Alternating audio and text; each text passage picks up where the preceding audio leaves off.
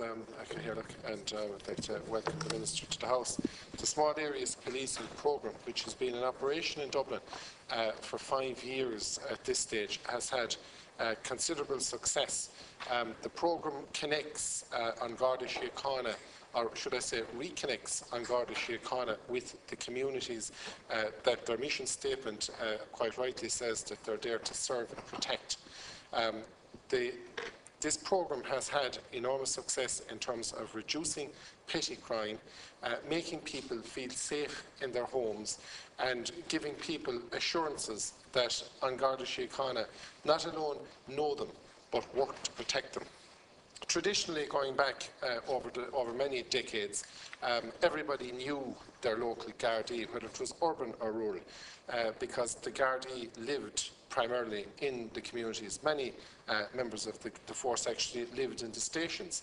Uh, we, were, we, can remember going back over the years where there was always a guard living uh, in most Garda stations, and as that was phased out, they were living within the community. But unfortunately, we've seen uh, that the police service has become much more upwardly mobile. Uh, people are living outside their jurisdiction and they commute to work. And that's not the fault of any member of Garda Síochána, that's just modern living.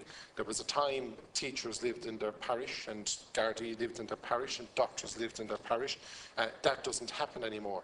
But it's really not as essential, if you like, for teachers or uh, other um, professions to, to, have as much of a knowledge of the area in which they work as Gardaí.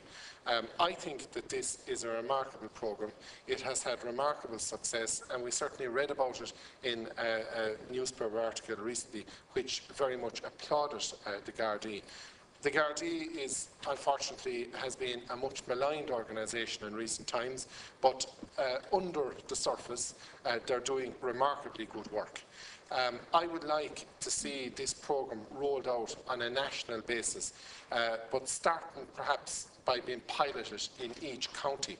For example, uh, in my own county of Clare, I think it would be an excellent initiative which would empower uh, what is already a fantastic uh, Garda force in County Clare uh, uh, by giving them the task of uh, reconnecting in a very direct way uh, with uh, the communities. I think it would work very well if it was actually put on a formalised basis, and particularly in, in, cities such as Limerick City, Cork, Galway and others.